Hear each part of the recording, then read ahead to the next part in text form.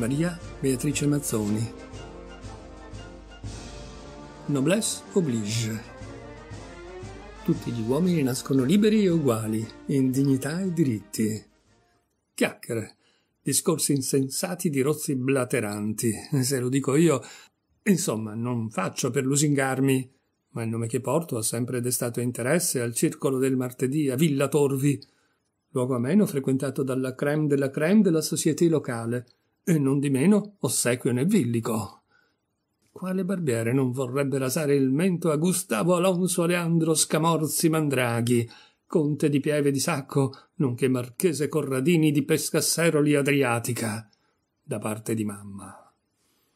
Dunque io, Gustavo Alonso, eccetera, eccetera, dico che è tutta una menzogna, uno specchietto per le allodole. Questo filosofo da quattro soldi di cui tanto si parla ha inventato di sana pianta una rivoluzione che, secondo lui, dovrebbe portare al potere gente sgraziata, senza stile, neanche capace di abbinare i gemelli col gilet. I risultati disordini, oltraggi persino al re. Colpevole, figuriamoci, d'aver dato l'ordine di disperdere i ribelli con le armi. Forse che le idee, ma no, una sola idea nelle menti sbagliate non è pericolosa? Non è alla stessa stregua di un'arma? È più nociva perché mira ad annientare i valori morali, quelli sacrosanti che ci stanno da che mondo è mondo. Ecco perché i miei avi e gli avi dei miei avi da sempre, forse dall'epoca degli antichi clan preistorici e matriarcali, vedi marchesato materno, adottarono una linea dura verso gli inferiori, questa cosiddetta classe operaia atteggiamento consono al ruolo che il privilegio impone. Tolleranza quanto basta perché restino al loro posto, senza ventilare ipotesi di socialismo o altri ismi peggiori che non oso menzionare, tenebre orripilanti di questo nuovo secolo ventesimo. Che la classe non è acqua, lo testimonia la mia famiglia. Seppure le nostre, un tempo estese proprietà terriere, si siano ridotte e abbiano reso meno che nel passato, non per questo noi, Scamorzi, Mandraghi, eccetera, eccetera, abbiamo mai inzaccherato nome o titolo confondendoci con il miraggio di un impiego. È perciò con grande astio e cupa rassegnazione che vado a narrare la mia storia, che è poi quella di tutti gli scamorzi che, purtroppo come me, si estingueranno irrimediabilmente. È tutto a causa di un maleficio, di un'ingiustizia perpetrata ai miei danni una donnetta, una volgare razziratrice, una manipolatrice sicuramente in combutta col demonio. È riuscita nell'intento di rovinare la mia persona, facendo cenere delle ataviche glorie della mia famiglia. So che mi resta poco da vivere e ho deciso di affidare questo breve memoriale al mio notaio di fiducia, con la speranza di essere utile al futuro di questo malsano paese che si avvia a diventare l'Italia. Dunque confesserò in primis che sì, conobbi questa tal donna di nome Ortensia Smandrapponi, una contadinella apparentemente di buona volontà, figlia del nostro fattore, assunta per un atto di pietà da mio padre, il conte, come domestica della nostra casa di città. Ero giovane ed esuberante allora, cosa da destare l'orgoglio della casata, considerata la missione a me affidata di propagare il titolo in quanto unico e tanto atteso figlio maschio, dopo quattro figlie femmine, di cui due sfacciatamente gemelle.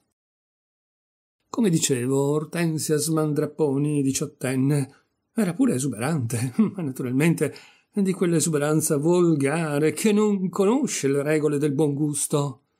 Caddi tra le sue sgrinfie un mattino di primavera in cui indulgendo col tempo e coi miei appuntamenti del circolo del bridge, mi trovai la furbetta in camera a scostare i pesanti tendaggi apparentemente stupita di trovarmi ancora discinto in camicia e berretto da notte. Io ebbi probabilmente un moto spontaneo, democratico verso quel corpo florido e caldo, o forse fu la mia momentanea ingenuità che mi portò a concedere ad una creatura tanto inferiore a me un regale e regolare amplesso. Purtroppo, come noto, La gente del popolo non si accontenta mai del poco e chiede il molto, e se si arriva al molto, poi chiede il troppo. Fatto sta che Ortensia Smandrapponi continuò a sbagliare orario e io la lasciai sbagliare per molti mesi, tra l'altro continuando a trascurare gli amici del circolo. Dopo alcuni mesi ella sparì, sostituita da un'altra domestica meno florida e più matura, che doveva avere una sua visione delle cose del mondo e che, istruita da mio padre circa i miei trascorsi, era persino autorizzata a redarguirmi si alziava oltre l'ora consueta fra i tepori del letto. Ben presto dimenticai Ortensia e portai avanti la mia vita da giovane sfaccendato, prima di conte Scamorzi Mandraghi di Pieve di Sacco, nonché di Marchese Corradini di Pescasseroli Adriatica. Poi e agii con tale costanza e passione da convincermi a trent'anni compiuti di essere uno dei migliori esemplari di Scamorzi. Ma sic transit gloria mundi. Anno dopo anno iniziarono a morire, uno dopo l'altro, tutti i miei figli, per una rara malattia genetica, mi dissero, e persino la mia adorata cugina consorte, Corradina Corradini, marchesa de Pescassero di Tirrena, da parte di mamma pure lei, venne meno. Il mio sconcerto naturalmente fu maggiore per i figli che per l'adorata moglie giacché erano tutti maschi e tutti adeguati a portare nel nuovo secolo XX le prerogative del casato. Circa verso i quarant'anni, ancora sopraffatto dallo sconforto che i ripetuti lutti mi imponevano, ricevetti una lettera con un sigillo in ceralacca.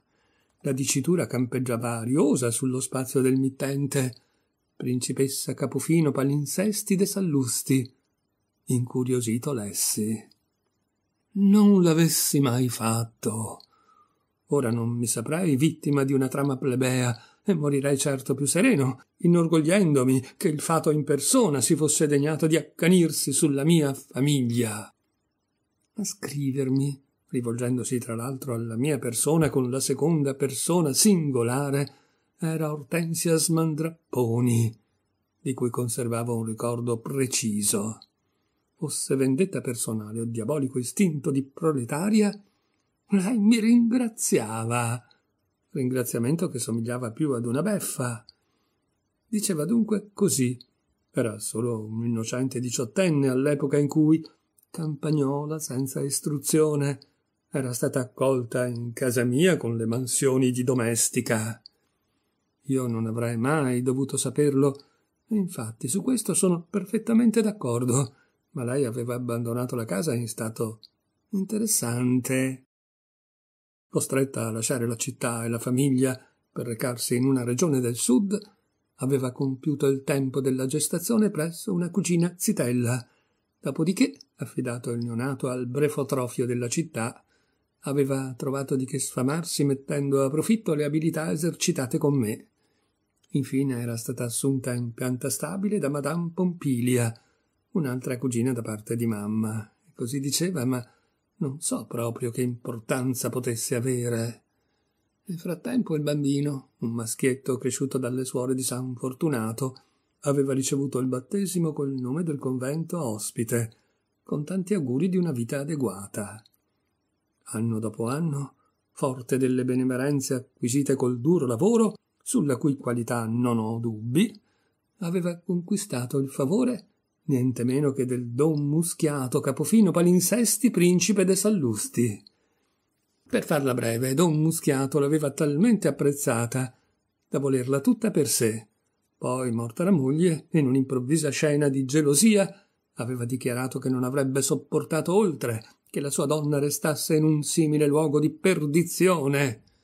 Di punto in bianco se l'era portata a casa e di lì a un mese, a dispetto dei figli, l'aveva sposata in chiesa, corrompendo il vescovo e, come se non bastasse, il pazzo l'aveva persino resa felice.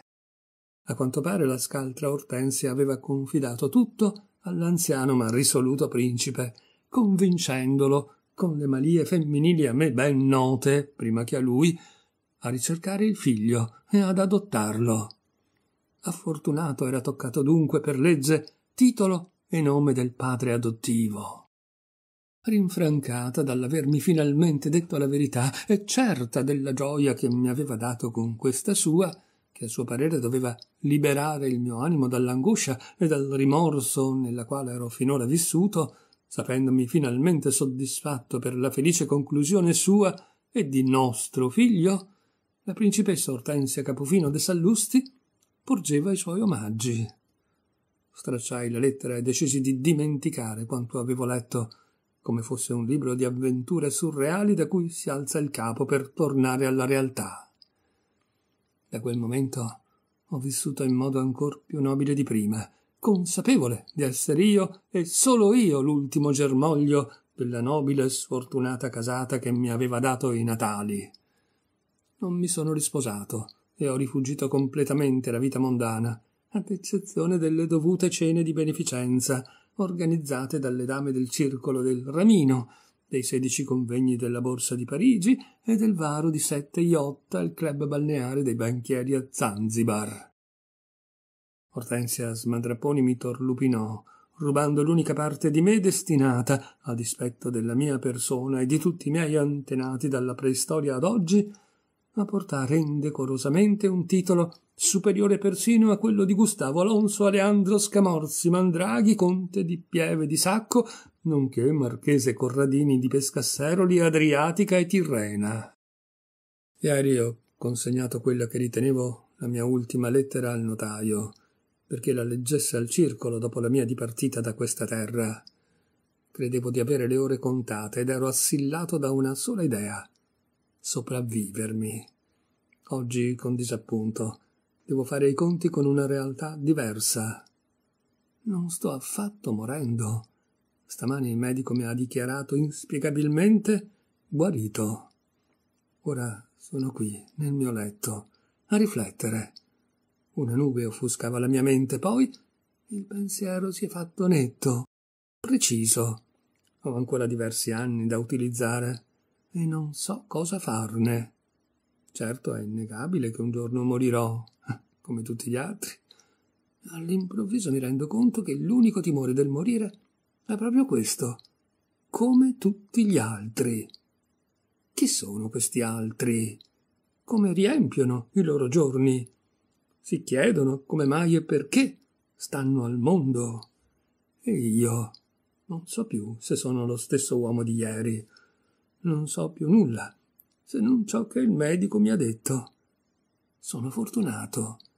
Devo aver sorriso beffardamente a questa uscita e gli avrei detto volentieri che no. Fortunato è mio figlio. Ma chissà perché sono stato zitto. E all'improvviso ho avuto voglia di piangere. Proprio qui nel mio letto, dove un giorno morirò. E dove nessuna ortensia smandrapponi verrebbe più a svegliarmi.